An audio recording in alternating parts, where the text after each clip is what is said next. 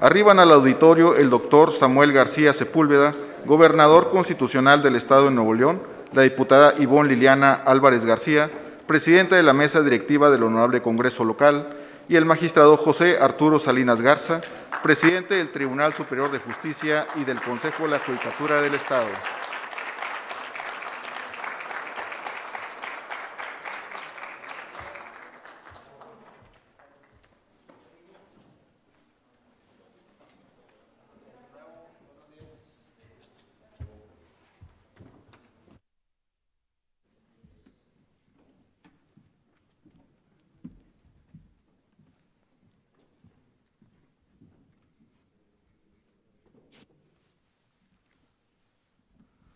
Amablemente solicito a nuestro presidium tome asiento, por favor.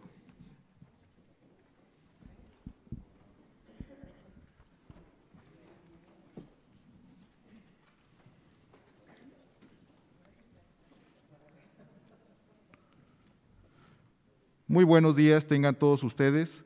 Este auditorio y la plataforma digital conocida como Zoom han sido designados por el Pleno del Tribunal Superior de Justicia del Estado como sede oficial para conmemorar el Día del Poder Judicial. En el año 2013, los plenos del Tribunal Superior de Justicia y del Consejo de la Judicatura del Estado, aquí reunidos, instituyeron el 10 de enero como el Día del Poder Judicial del Estado de Nuevo León. La conmemoración de este día quedó enmarcada en el Acuerdo General Conjunto 1, diagonal 2013. Es por ello que el día de hoy se realizará la celebración del 197 aniversario de la instalación de este tribunal. Para conmemorar dicho aniversario, se dispuso realizar una reseña de cómo ha mejorado la impartición de justicia local con la implementación de las acciones establecidas para enfrentar la pandemia del coronavirus COVID-19. También contemplaremos algunos retos a enfrentar en este año 2022. Además, realizaremos un reconocimiento a todos aquellos servidores públicos de este Poder Judicial que con su labor de más de 30 años han contribuido a fortalecer los pilares de esta institución. También haremos entrega de dos reconocimientos en memoria a quienes formaron parte de esta noble institución del Poder Judicial y que durante su gestión motivaron de manera importante el desarrollo de la misma, cuyos nombres se darán a conocer en el transcurso de esta ceremonia. Antes de continuar con este importante evento, nos permitimos presentar y extender un agradecimiento muy especial por su cordial asistencia a las distinguidas autoridades que nos acompañan, el doctor Samuel García Sepúlveda, gobernador constitucional del Estado.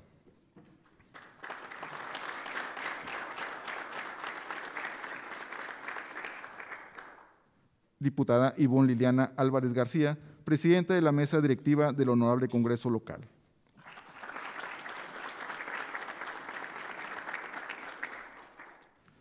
Asimismo, agradecemos la presencia del magistrado presidente, de las magistradas y magistrados que componen el Pleno del Tribunal Superior de Justicia, así como de los consejeros integrantes del Pleno del Consejo de la Judicatura del Estado.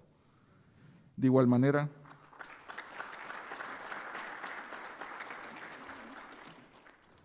de igual manera, damos la más cordial bienvenida a los demás servidores públicos de este Poder Judicial, diputados locales, secretario general de Gobierno y miembros del Gabinete Estatal, general de división del Estado Mayor de la Cuarta Región Militar, cónsul general de los Estados Unidos de América en Monterrey, fiscal general de justicia del Estado, fiscal especializado en combate a la corrupción, alcalde de Monterrey, director general del Instituto de Seguridad y Servicios Sociales de los Trabajadores del Estado, secretario general del Sindicato Único de Servidores Públicos del Estado y demás invitados especiales, sean todos bienvenidos.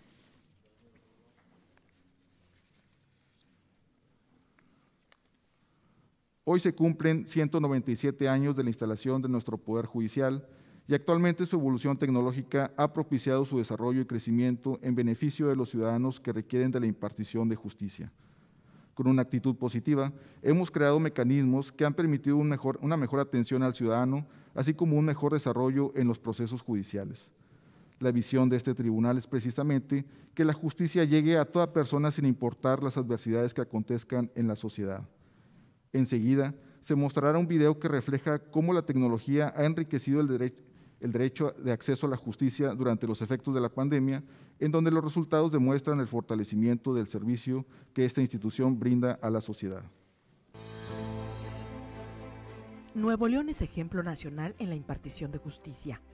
A 197 años de impulsar la justicia en el Estado, el Poder Judicial ha crecido acorde a las demandas ciudadanas, mejorando sus servicios y ubicándose a la vanguardia en el uso de herramientas tecnológicas que facilitan el acceso a la justicia y redundan en la mejor atención a los ciudadanos de nuestro Estado y del mundo entero. Fuimos la primera entidad en impulsar los juicios orales y adelantarnos a la implementación de la reforma penal. Convencidos de que los mecanismos alternativos son una manera eficaz de impartir justicia, se han promovido e impulsado en la solución de los conflictos y cada vez adquieren más fuerza entre los ciudadanos para resolver sus problemas de manera pacífica. Evaluando las necesidades y requerimientos, hemos dado pasos agigantados en el desarrollo de sistemas y aprovechamiento de herramientas tecnológicas que han dado origen a la justicia digital, concretando toda una gama de servicios que permiten la continuidad de las actividades jurisdiccionales y la gestión de los trámites administrativos que giran alrededor de las contiendas judiciales de cualquiera de las materias. Con ello, queda patente que la estrategia implementada ante la contingencia sanitaria del COVID-19 por los plenos del Tribunal Superior de Justicia y el Consejo de la Judicatura, a través de acuerdos generales conjuntos diseñados para el restablecimiento gradual de las actividades, rindió frutos favorables y satisfactorios. Como indicadores de la eficiencia judicial, las actividades en los órganos judiciales y áreas administrativas muestran que en el último año, en los juzgados de primera instancia de todas las materias y menores en conjunto, se han emitido la cantidad de 48.853 sentencias definitivas e interlocutorias. Se han desahogado 14.159 audiencias judiciales y se han emitido la cantidad de 1.274.159 resoluciones. Desarrollando los proyectos de tecnologías de la información y comunicaciones necesarios, habilitando servicios adicionales a los que ya se contaban, el Tribunal Virtual se ha convertido en una herramienta indispensable. Rompiendo paradigmas, el Poder Judicial fue pionero en establecer este sistema a través del cual se genera un expediente electrónico en cada uno de sus juicios, que puede ser consultado vía Internet por sus interesados. Las consultas a expedientes electrónicos superan las 30.000 diarias, llegando a registrar visitas superiores a 3.300.000 al año que muestran presencia de países como Estados Unidos, Canadá, Reino Unido, España, Suecia, Egipto y Japón, entre otros. A casi 20 años de su implementación y lanzamiento en el año 2002, el Tribunal Virtual, hoy por hoy, es una de las plataformas judiciales más completas y de apoyo a la población en general, permitiendo la consulta de acuerdos, promociones, documentos de expedientes y otros servicios desde cualquier lugar y a cualquier hora. Los novedosos sistemas y aplicaciones implementados por el Poder Judicial de Nuevo León han permitido realizar diversos trámites y servicios a distancia, evitando traslados innecesarios y dando continuidad a las acciones implementadas en el contexto de la nueva normalidad. Así, inmersos en una contienda sanitaria, seguimos aprovechando las herramientas tecnológicas que permitan atender las demandas de todo ciudadano de nuestro Estado y del mundo entero. Por ello, Trabajando en los grandes retos que se avecinan, nos preparamos rumbo a la implementación de la justicia laboral, dando pasos firmes para hacer frente a los nuevos requerimientos del mandato constitucional. En el Poder Judicial estamos conscientes de la gran responsabilidad que estas nuevas atribuciones conllevan y establecimos un plan de trabajo para atender los lineamientos legales en esta materia, reformando nuestra ley orgánica, generando las nuevas estructuras para contar con el capital físico y humano que den paso a la creación de juzgados laborales y la inclusión de la justicia digital, nos alistamos para atender y estar a la altura de las exigencias que la ley impone. Consciente de su función esencial, en el Poder Judicial de Nuevo León seguimos avanzando. Nuestra meta y compromiso permanente es mejorar día con día la calidad de nuestros servicios en beneficio de los ciudadanos que merecen una justicia pronta y expedita.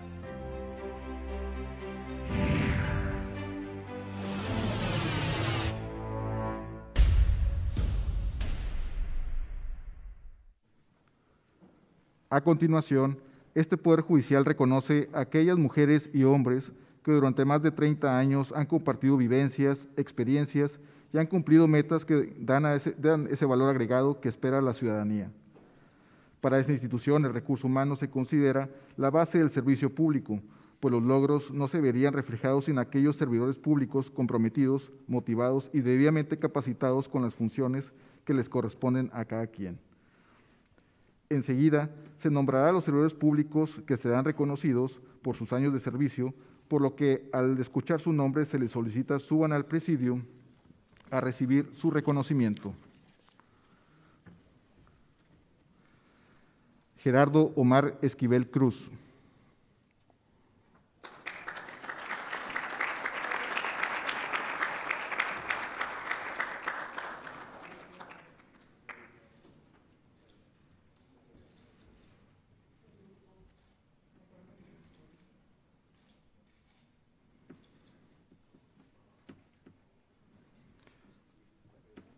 Elda Nelly Ruiz Martínez.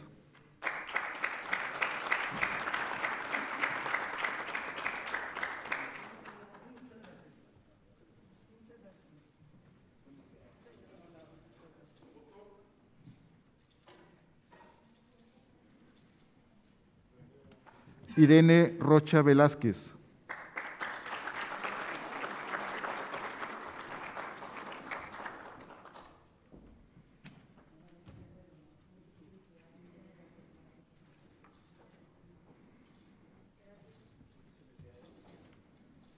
Antonia Hernández González.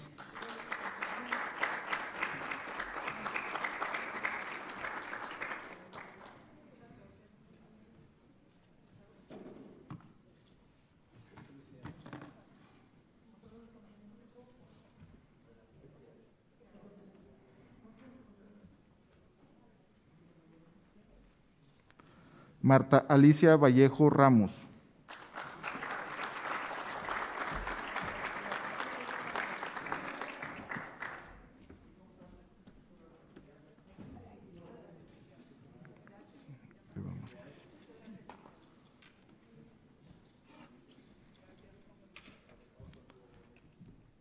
Eva María Vargas García.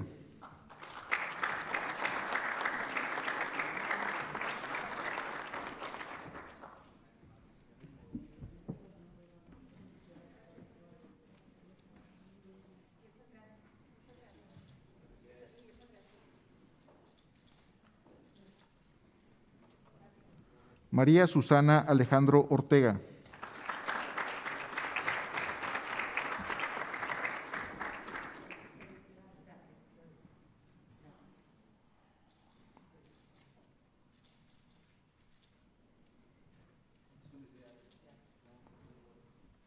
Claudia Moreno Rocha.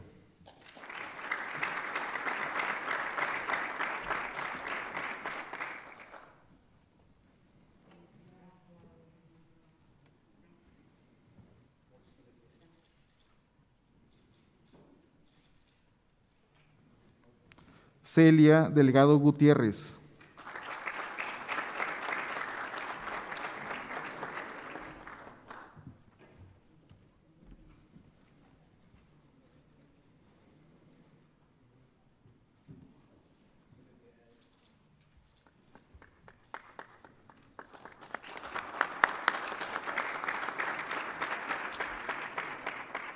Y magistrado Juan Manuel Cárdenas González.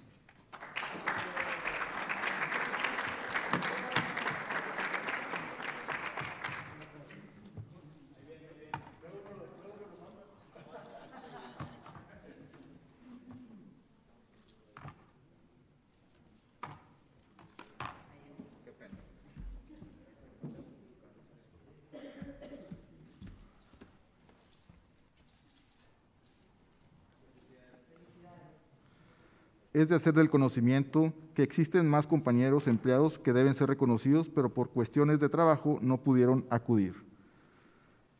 Muchas felicidades a todos los reconocidos.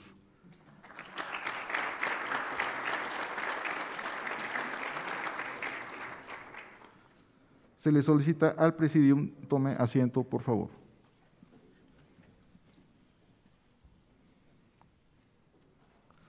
Por otra parte, En este año se ha dispuesto por los plenos del Tribunal Superior de Justicia y del Consejo de la Judicatura del Estado la entrega de dos reconocimientos a quienes en vida se distinguieron por su trayectoria profesional. Se trata de los magistrados José Eugenio Villarreal Lozano y Francisco Javier Mendoza Torres. El magistrado José Eugenio Villarreal Lozano, como ex integrante del Pleno del Tribunal Superior de Justicia, es recordado con cariño y respeto.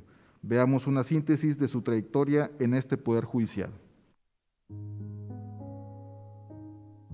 José Eugenio Villarreal Lozano, licenciado en Derecho y Ciencias Jurídicas, egresado de la Universidad Autónoma de Nuevo León. En su trayectoria profesional fue secretario de sala del Tribunal Superior de Justicia del Estado, juez de lo familiar del Cuarto Distrito, juez de lo penal del Primer Distrito Judicial.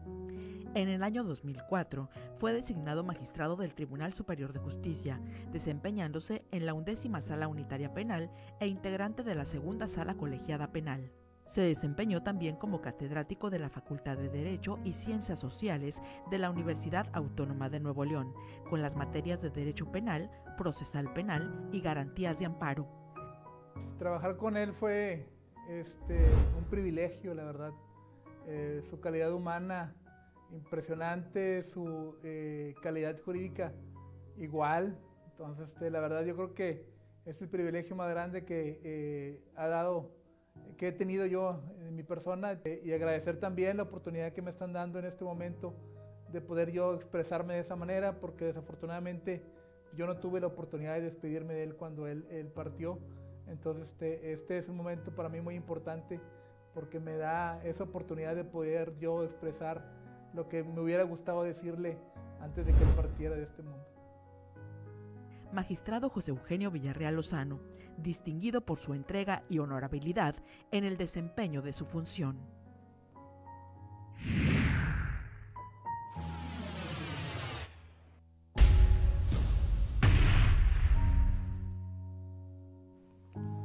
Para recibir este reconocimiento póstumo, solicitamos la presencia en el presidium de los licenciados Enrique Adán Villarreal Neaves y Alejandra Mayela Villarreal Neaves, quienes son hijos del magistrado José Eugenio Villarreal Lozano.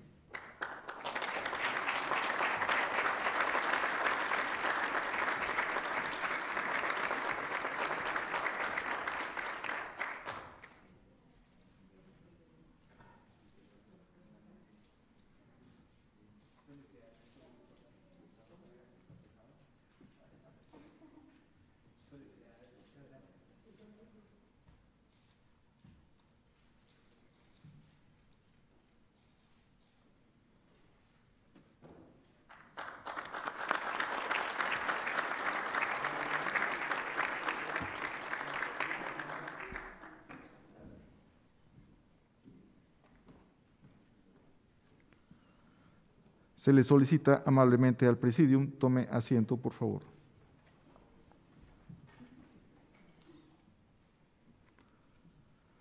El magistrado Francisco Javier Mendoza Torres, como exintegrante del Pleno del Tribunal Superior de Justicia y expresidente de la gestión inmediata anterior, es recordado con cariño y respeto.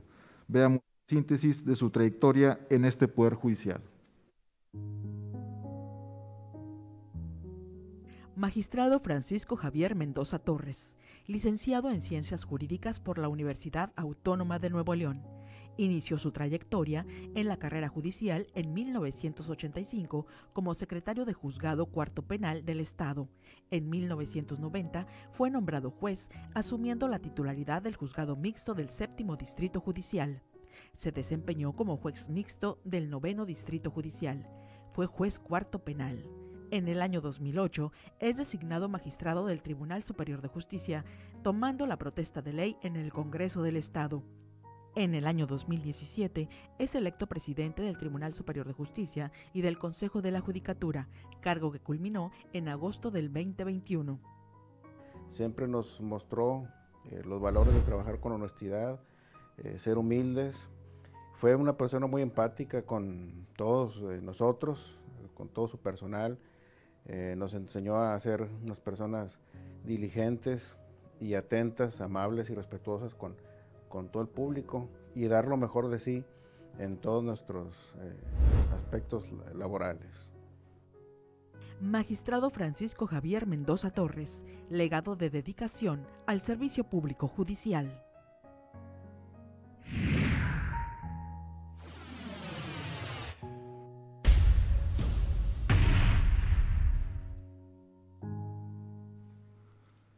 Para recibir este reconocimiento póstumo, solicitamos la presencia en el presidium de la licenciada Celestian Denise Puente Lecea y de su hija Renata Celestian Mendoza Puente, quienes son esposa e hija respectivamente del magistrado Francisco Javier Mendoza Torres.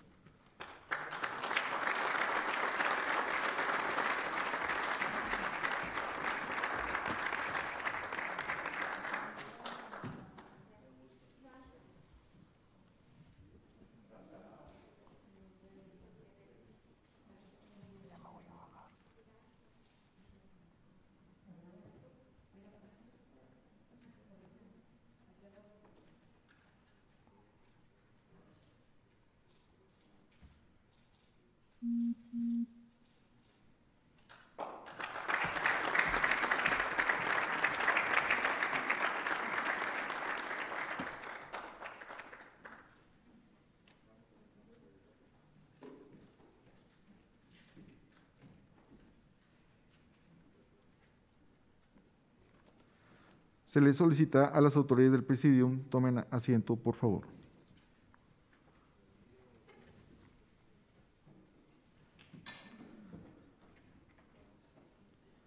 Siguiendo con el desarrollo de esta ceremonia, se le solicita al magistrado presidente José Arturo Salinas Garza nos dé su mensaje.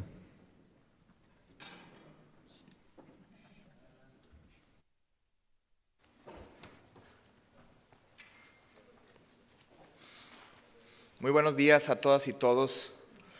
Primero que nada, agradecerles su presencia.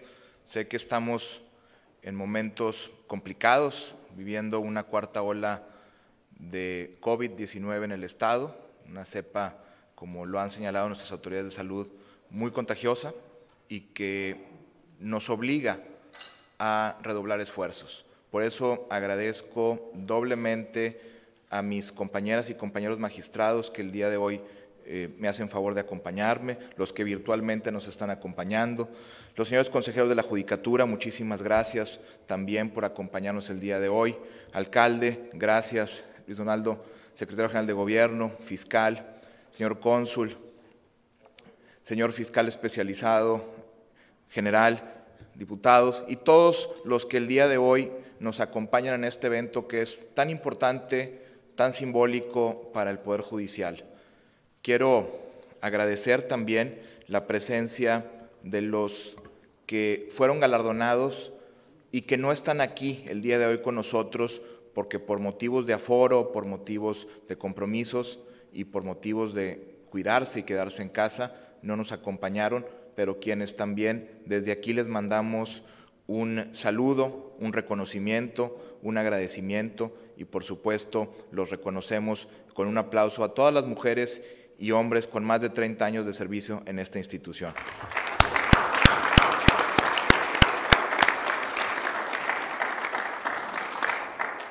El 31 de enero de 1824, en un eh, decreto federal denominado Acta Constitutiva de la Federación Mexicana, se establecieron las bases y el sustento para crear el Poder Judicial del Estado de Nuevo León. Ahí se estableció una obligación que todos los estados de la República deberían de tener tres poderes, ejecutivo, legislativo y judicial.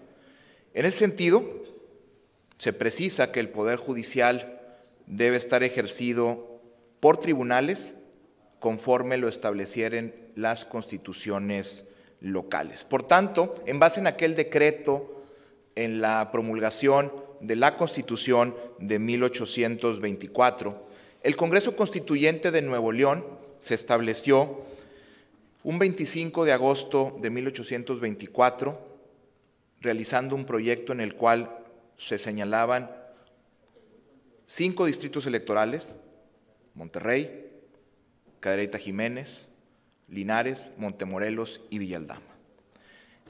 Estas sedes servirían también como fracciones judiciales y estaban dotadas por un juez de competencia mixta, civil y penal, salvo Monterrey, que debería de tener dos. Posteriormente, el 11 de noviembre de 1824, se crearon los tribunales de segunda y de tercera instancia, asesores judiciales y la figura del magistrado para el tribunal de segunda instancia. Para lograr aquel objetivo, el 9 de diciembre de 1824, el Congreso del Estado nombró a don José Alejandro de Treviño y Gutiérrez como presidente del naciente Tribunal Superior de Justicia en el Estado de Nuevo León, quedando pendientes los cargos de los magistrados de las tres salas que se estaban proyectando. Con lo anterior fue entonces que el 10 de enero de 1825 que se declara la instalación del Tribunal Superior de Justicia del Estado de Nuevo León, siendo su primera sede en el Palacio Municipal Antiguo de Monterrey, donde además se daban cita los otros dos poderes. Ya con la Constitución promulgada el 5 de marzo de 1825, solo faltaba por definir quiénes deberían ser los magistrados que conformarían al Tribunal Superior de Justicia del Estado de Nuevo León. En ese sentido, primero se ratifica a través del decreto número 44 del Estado de Nuevo León, del Congreso del Estado de Nuevo León, el, emitido el 3 de junio de 1825, se ratifica al entonces nombrado ya presidente don José Alejandro de Treviño y Gutiérrez, y adicionalmente se le nombra magistrado de la primera sala. Y fueron designados también los licenciados Pedro Agustín Ballesteros para la segunda sala y Rafael de Llano en la tercera sala. Hoy, a casi dos siglos de su fundación, estamos aquí reunidos para conmemorar el 197 aniversario de la instalación del Tribunal Superior de Justicia en el Estado de Nuevo León.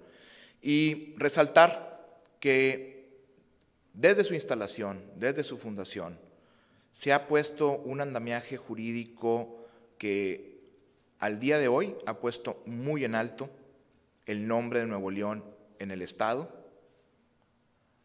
y obviamente a nivel nacional. Es una institución que cuenta con 16 magistrados, 121 jueces y más de 2.000 colaboradores que trabajan siempre con un mismo objetivo, brindar justicia de manera pronta y expedita. Sin duda alguna, Nuevo León ha sido ejemplo nacional en la impartición de justicia. Fuimos la primera entidad en impulsar los juicios orales, los mecanismos alternos de solución de conflictos, la justicia digital, la reforma penal y, por fortuna, con toda esta infraestructura tecnológica y humana que se ha venido gestando en los últimos 20 años, hemos logrado sortear con éxito la pandemia de COVID-19. Y esto lo único que nos obliga es a seguirnos preparando, a seguirnos modernizando y nos pone expectativas muy altas a nosotros al interior, a los ciudadanos, para este 2022. El alto estándar de calidad es resultado del trabajo arduo de hombres y de mujeres que todos los días laboran en este Poder Judicial con la camiseta tatuada, con un firme compromiso de que las cosas se hagan bien, de tener una justicia pronta, expedita.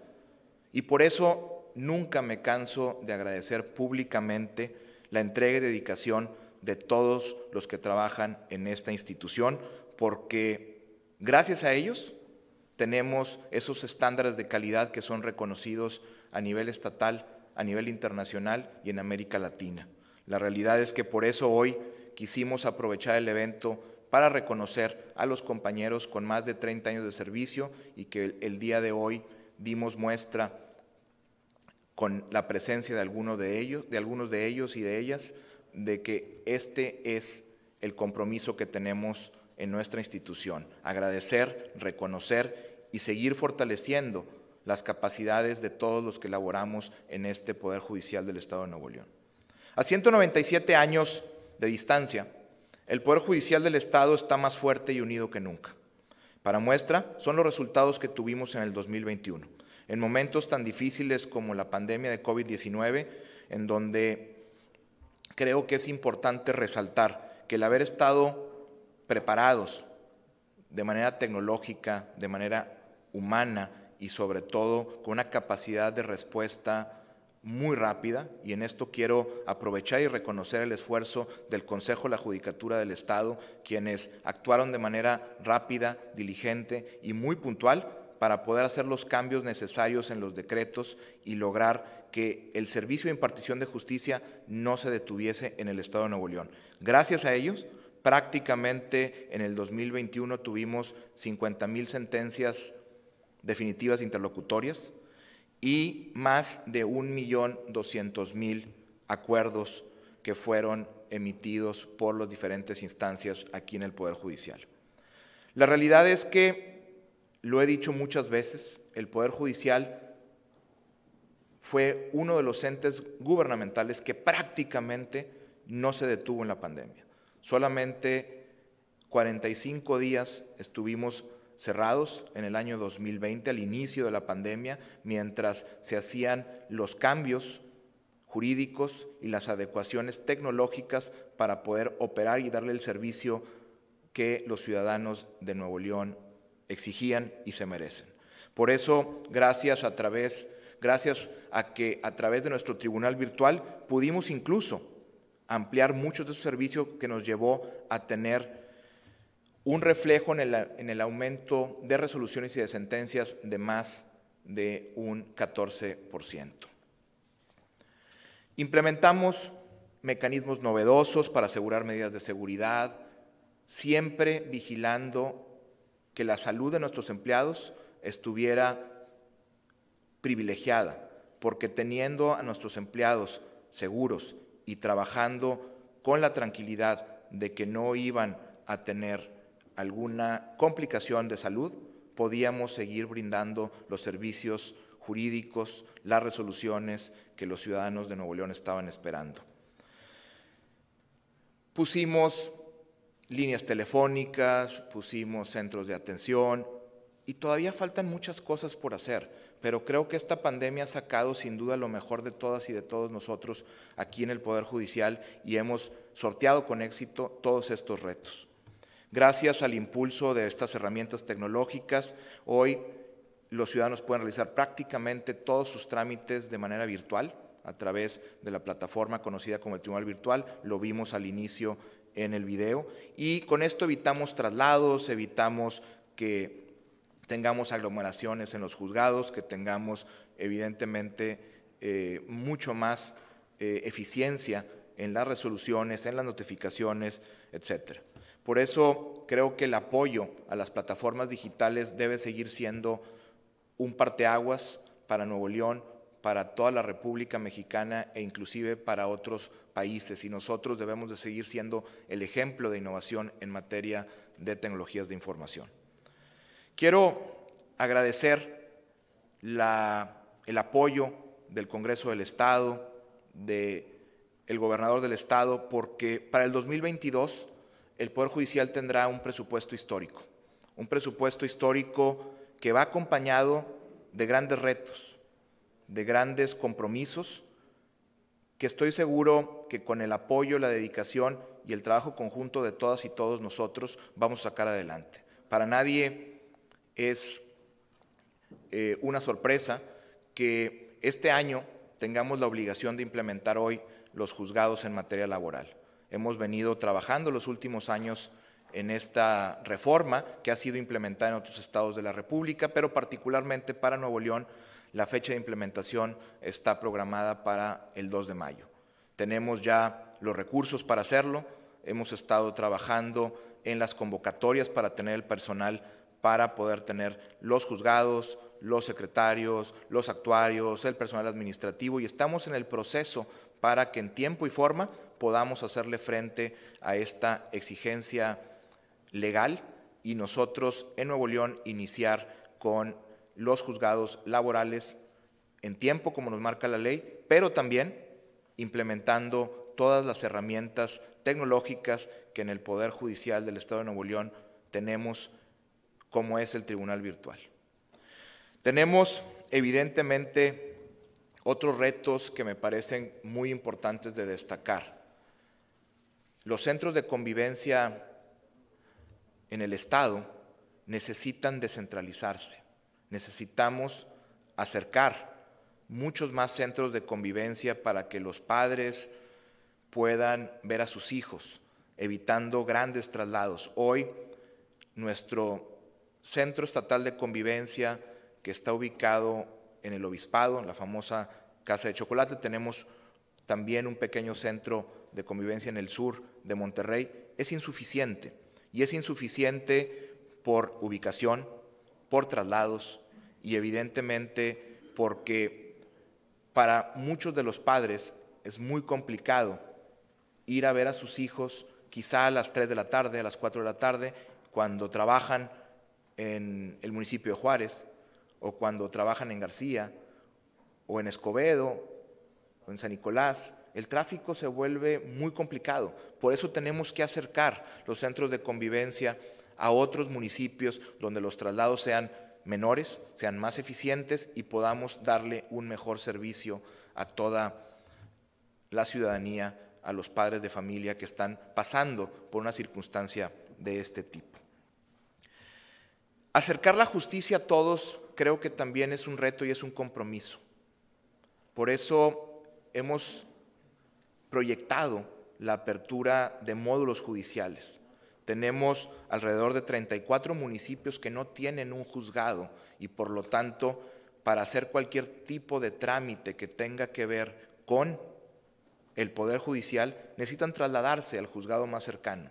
Y esto genera pérdida de tiempo, genera costos y genera evidentemente traslados que queremos evitarle a los ciudadanos. Tenemos el compromiso de acercar la justicia lo más que podamos a los ciudadanos del Estado de Nuevo León. Hemos platicado con diversos alcaldes que están muy interesados en que podamos ir abriendo de manera paulatina módulos en esos municipios donde no tenemos un juzgado, pero que sí podamos tener un lugar donde podamos brindar servicios y tener una computadora para aquellos que se van a, a conectar a una audiencia virtual, ya sea en materia penal, familiar, civil y ahora en materia laboral, tener un lugar donde se puedan hacer ciertos trámites necesarios para esos ciudadanos de esos municipios y hemos platicado también con la Fiscalía para que nos acompañe en muchos de esos módulos judiciales para que también ellos pongan un módulo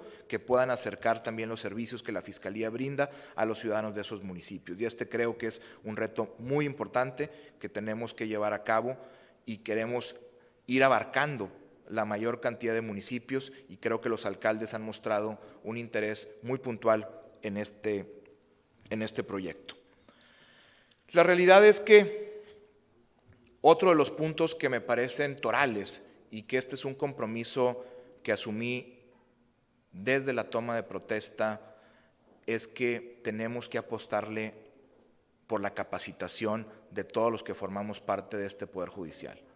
Tenemos que invertir en capacitación, tenemos que seguir generando programas, proyectos, cursos y horas de capacitación que puedan ayudar a que nuestro personal siga siendo personal de excelencia. Hoy quiero presumirles que en este año 2022, por primera vez tendremos ya una maestría en argumentación jurídica que será impartida por el Instituto de la Judicatura del Poder Judicial del Estado de Nuevo León y esto creo que será de mucha utilidad para todos y todas los que formamos parte de esta institución. Y el reto no termina ahí. Hemos platicado con el director del instituto, hemos platicado en el Consejo de la Judicatura y la intención es ampliar las maestrías y la oferta educativa que podamos dar para otras materias, como puede ser la materia penal y obviamente las materias que poco a poco la ciudadanía y la sociedad vaya requiriendo y nosotros como institución que estemos preparados para hacerla. Como ven, los retos que tenemos encima para el 2022 no son pocos. Esperemos que en este año también, en eh, mayo, junio, tengamos abierto ya la sede judicial en Apodaca, donde podamos tener también otra, otro lugar de atención para juicios penales, para eh, juicios eh, familiares, etcétera, y que podamos seguir acercando la justicia a todas y todos. Son muchos los retos, pero estoy segura que juntos los podemos sacar adelante y obviamente con el compromiso, con la colaboración y la buena coordinación que se tiene con los otros poderes de este Estado, vamos a lograr que este 2022 el Poder Judicial del Estado de Nuevo León siga siendo referente nacional, que siga siendo referente internacional, porque como se señaló en el video del inicio, el Tribunal Virtual es una herramienta sorprendente donde vemos que hay personas en Estados Unidos, en Canadá, en Europa, en Asia incluso, que están realizando trámites a través de nuestra plataforma digital aquí en Nuevo León. Y eso lo único que nos hace es enorgullecernos del trabajo que todas y todos estamos haciendo y enorgullecernos de el camino que este Poder Judicial está tomando. Por eso no me queda más que decirles a todas y todos felicidades. Son 197 años de orgullo para Nuevo León de este Tribunal Superior de Justicia en el Estado. Felicidades.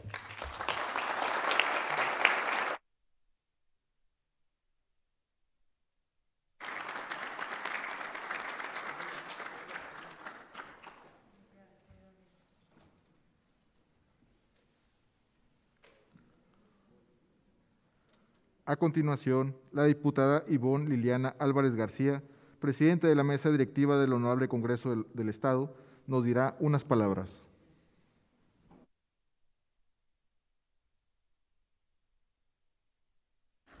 Muy buenos días a todos.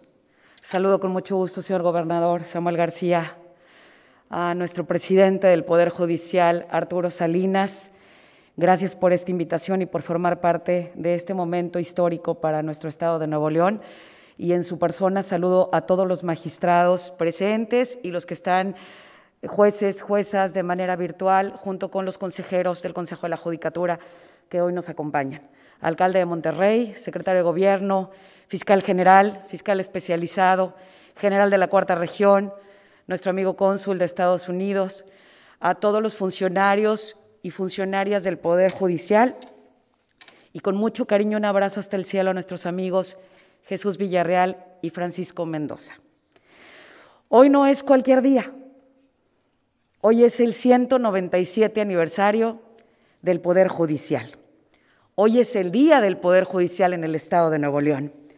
Hoy es el día en el que reconocemos y conmemoramos la existencia de uno de los pilares de nuestras instituciones más importantes en el Estado.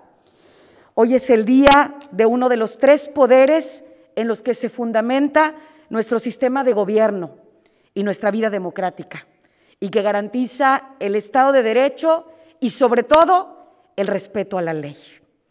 Por eso también es justo y oportuno reconocer el esfuerzo en los años recientes que ha hecho este Tribunal Superior de Justicia del Estado de Nuevo León para estar a la altura de las circunstancias y poderse adaptar a los nuevos tiempos, para poder impartir justicia de forma pronta, expedita y equitativa para todos. El Poder Judicial es parte medular de nuestro gobierno democrático, basado en la división de poderes. Es decir, que ninguno de los tres poderes, ni el legislativo, ni el ejecutivo o el judicial, pudieran funcionar correctamente si no existieran los otros dos poderes, ya que sus funciones están estrechamente relacionadas entre sí, pero con sus facultades claramente definidas y autónomas. Es de resaltar y me congratulo en expresar ante todos ustedes y con mucho orgullo que nuestro Estado se ha logrado un alto grado de independencia en el Poder Judicial, que se deja ver en aspectos que han moldeado y garantizado la justicia para los ciudadanos. Prueba de ello es que Nuevo León, como bien lo decía Arturo, fue la primera entidad en todo el país que impulsó los juicios orales y los mecanismos alternos para la solución de conflictos. Más recientemente, a raíz de esta pandemia por COVID, se implementó de una gran manera eficiente la justicia digital, lo que ha permitido seguir trabajando sin exponer a los ciudadanos, ni a los abogados litigantes, ni a su personal, y me ha tocado ser testiga como otros estados han venido a conocer la justicia digital que tiene Nuevo León para poder ellos empezar a implementarla y poder hacer lo que se ha hecho aquí en nuestro estado. Todo ello nos habla del esfuerzo que se ha resaltado y se ha realizado en una institución comprometida con su trabajo y con Nuevo León. Sin duda, hoy podemos decir que el Poder Judicial es una de las instituciones más sólidas en el Estado y que es garante del Estado de Derecho. Por eso también es momento de resaltar el esfuerzo de grandes personajes y hechos históricos que han moldeado nuestro Estado en la consolidación de las instituciones que sirven como puente entre la sociedad y el gobierno para poder entablar relaciones, convenios, acuerdos y, por supuesto, lo más valioso para la ciudadanía, la impartación de justicia. Plasmando en la historia de Nuevo León, Está en la primera constitución que tuvimos, como bien se comentaba, en marzo de 1825, surgió el primer gobernador constitucional del Estado, don José María Parás, pero también el primer presidente del Supremo Tribunal de Justicia en el Estado, don José Alejandro de Treviño y Gutiérrez, quien fue destacado impulsor de la enseñanza del derecho. Desde aquellos primeros momentos de la vida constitucional, Nuevo León estableció fundamentos de su vida institucional para demostrar que a través de procesos judiciales y haciendo valer los derechos que tiene cada ciudadano, era posible cumplir con las leyes establecidas que propiciaban un mejor Estado, que se había visto envuelto en diversos movimientos sociales que parecían no tener fin.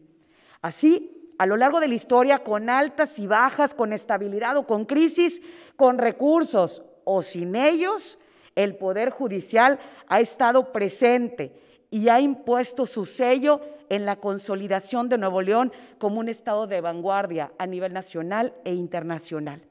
Por eso también es justo reconocer y felicitar a todos los expresidentes del Tribunal Superior de Justicia del Estado, porque cada uno de ellos enfrentó los tiempos y las circunstancias que le tocaron vivir, pero siempre con la Constitución y la ley en la mano para preservar el Estado de Derecho del cual hoy gozamos.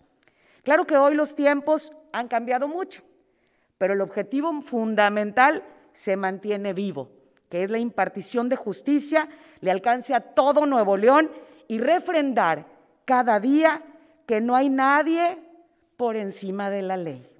Se trata de una tarea constante que enfrenta diversos retos y demanda grandes esfuerzos. Hoy por hoy podemos decir con gran orgullo, y le decía ahorita Arturo que le veía el orgullo en sus ojos cuando estaba hablando y cuando se expresaba de los grandes retos que hay en este 2022. Pero podemos decir con orgullo que el Poder Judicial cuenta con las mejores mujeres y los mejores hombres, profesionales, comprometidos, preparados, con amplia trayectoria pero con un amor profundo a su Estado para servirle y para hacer que se respete la ley. Como presidenta del Congreso del Estado, reconozco el trabajo que a través del tiempo se ha llevado a cabo en el Poder Judicial, lo que nos permite tener la certeza de que vamos por el camino correcto y que vivimos en un Estado próspero donde la ley se respeta y se hace respetar. En ese equilibrio de poderes, el Poder Judicial ha sido libre, pero responsable, que ha sabido sortear las dificultades para mantenerse imparcial, que se ha fijado metas y ha cumplido cabalmente con las resoluciones justas, prontas y expeditas para todos los habitantes.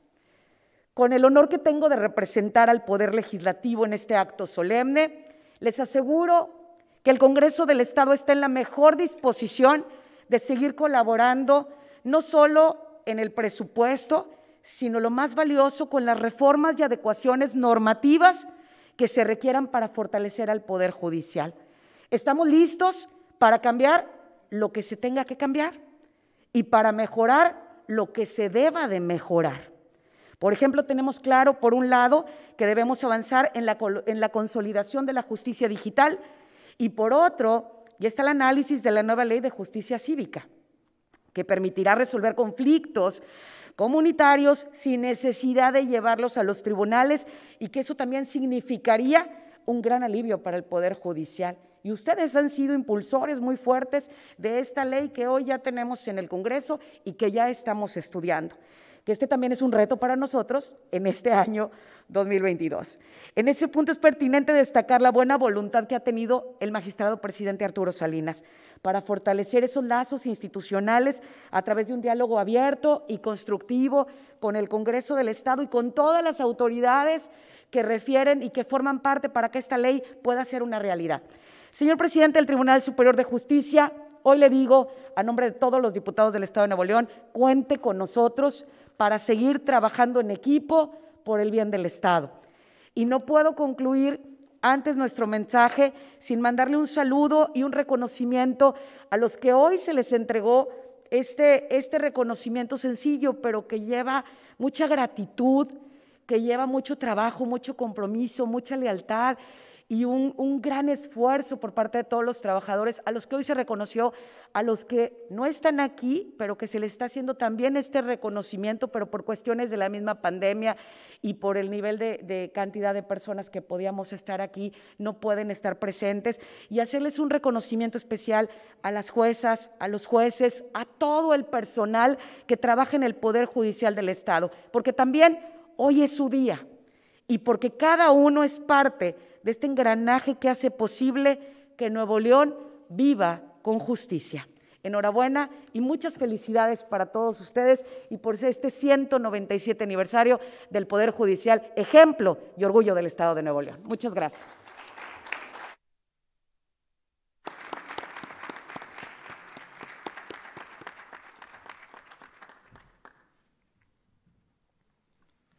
Enseguida, nos permitimos solicitar muy atentamente al doctor Samuel García Sepúlveda, gobernador constitucional del Estado, se sirva a dirigirnos su mensaje.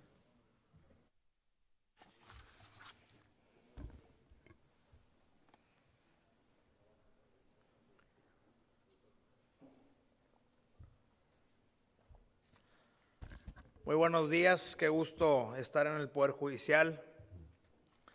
Saludo afectuoso a todos los que nos ven en línea y sobre todo a quienes están hoy presentes, magistrados, consejeros, autoridades y sobre todo a los galardonados. Yo quisiera dividir mi ponencia en tres tiempos. Primero voy a hablar de los galardonados, posteriormente del Día Histórico y del Poder Judicial y tercero, pues con toda autonomía e independencia que tiene el poder, algunas sugerencias que creo son valiosas para este año en materia de justicia.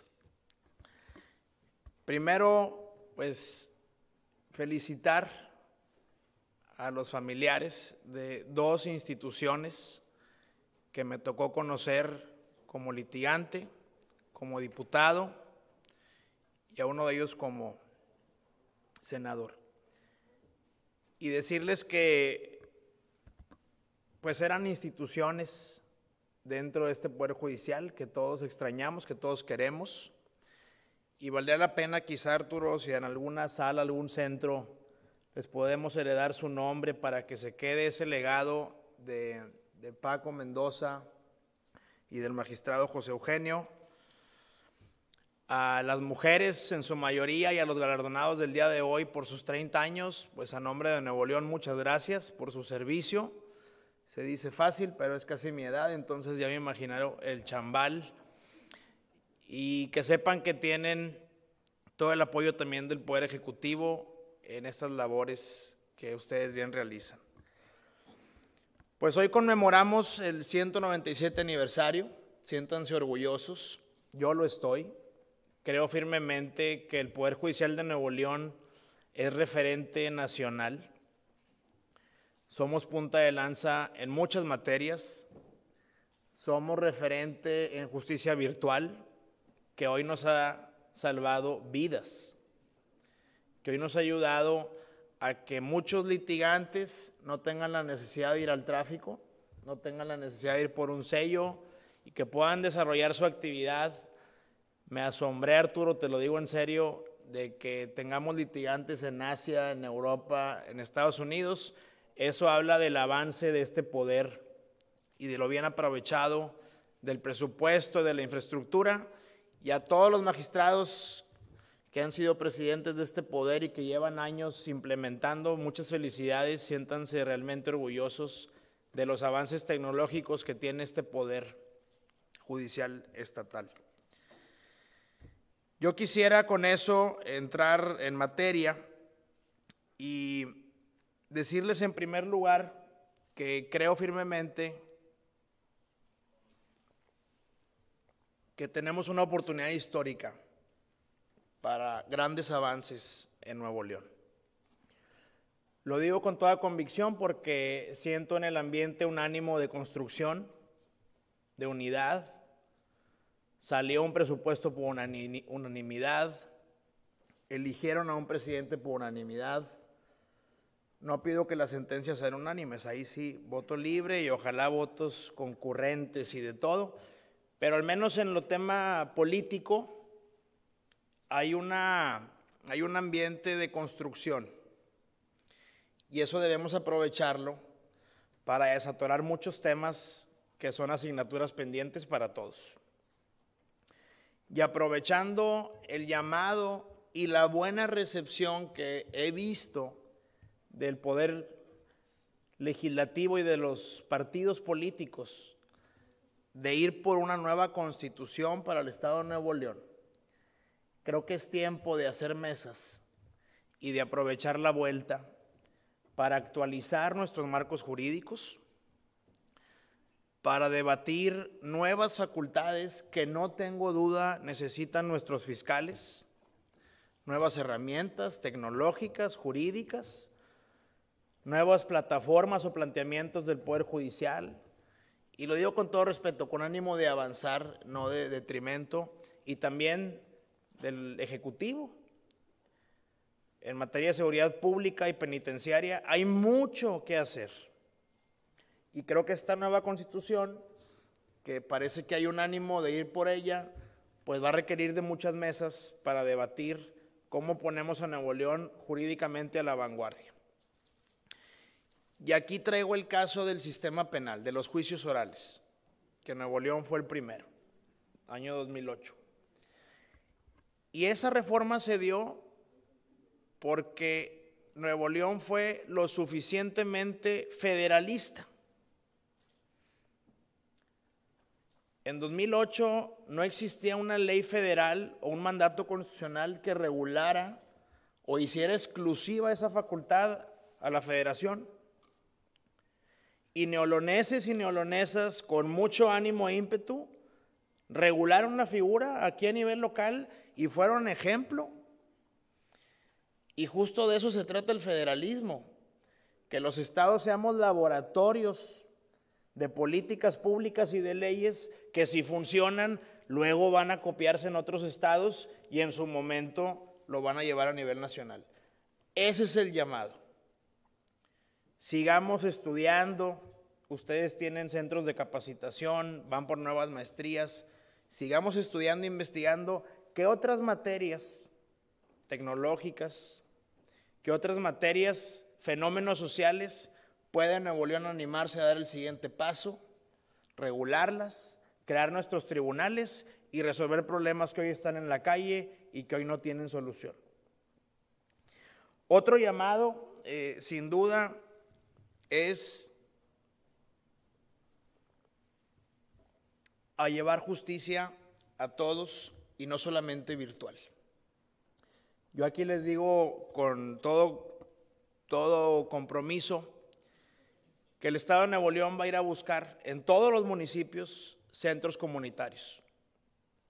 Se requieren por una sencilla razón, que haya igualdad para todas las personas, no solamente en la zona metropolitana. Y en la búsqueda de esos centros comunitarios tenemos la madurez y la comunicación, porque la hay, de que ofrezcamos en esos espacios pues oficinas para CODES de las fiscalías, oficinas para ir a presentar cualquier promoción judicial y que juntos y articulados podamos llevar justicia, procuración de justicia, administración de justicia a todo el Estado. Y pongo el caso de Allende. En Allende encontramos un inmueble enorme, llevaba 11 años en abandono Y hoy estamos haciendo un inventario de qué podemos llevar a la región citrícola. Y me encantaría poner ahí un CODE y lo que Arturo estime necesario para llevar a Allende y a la región citrícola también oficinas de primer mundo y nivel. Tocó Arturo, esto no era parte del discurso, pero lo, tocaste y, me, da gusto porque es un tema que hoy, estoy viviendo, que son los centros comunitarios y las adopciones. Hoy como ejecutivo y que estamos pegados en la materia familiar, creo yo que podemos ser mesas en las autoridades porque hay muchos más litigios de divorcio y por ende de custodias, de patrios potestades, y nuestros DIF se están llenando de casos. Pero esos casos son un niño, una niña. Hoy en el DIF tenemos 310 niños. Alrededor de 80 es una discapacidad severa. hay que ayudarlos con estimulación y con los mejores terapeutas y herramientas a sobresalir. Hay otros 210, que es lo que le llamamos la población flotante, que están esperando una resolución judicial, están esperando una familia de acogimiento o están esperando la adopción. Y esos niños pueden llegar a estar ahí hasta cuatro años. Y yo estoy seguro que con la sensibilidad que todos aquí tenemos, podemos avanzar, agilizar los mecanismos.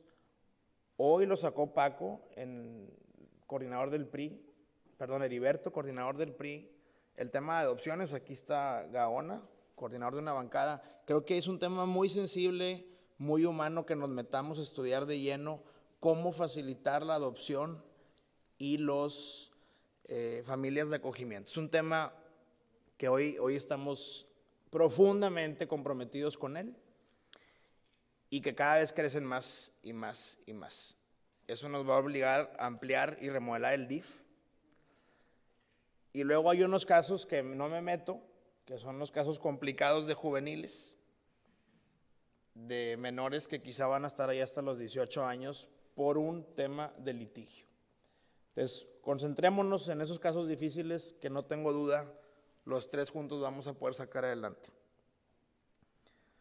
No quiero poner mucha chamba, pero me quedan dos. Este, el tema del sistema penitenciario, también tenemos que reunirnos porque hay unos cánceres ahí en todo el país inimaginables. Y hoy que queremos tomar el control y la verdadera custodia de los penales, sí requerimos ser más creativos, porque aunque está en nuestros planes ampliar y ya subdividir a los reos, no los tenemos subdivididos por alto impacto mediano y no sentenciados. Hoy tenemos mezclados a sentenciados con prisión preventiva oficiosa, imagínense. También hay mucho potencial ahí adentro que no estamos rehabilitando, que no estamos readaptando. Hay médicos, contadores, abogados que cometieron un error en su vida y tienen la capacidad de trabajar y estudiar en línea desde allá adentro.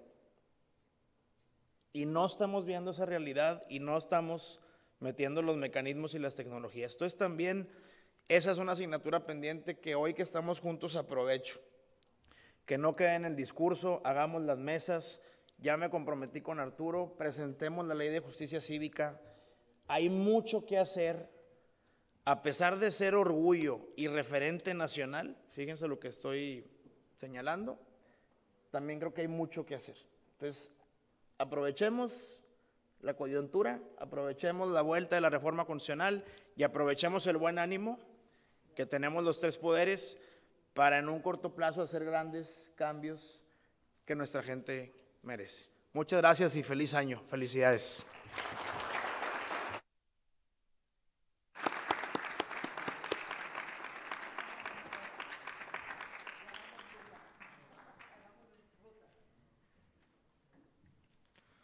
Con lo anterior se da por terminada la presente ceremonia, agradeciendo a toda su presencia, muchas gracias y que tengan un excelente día.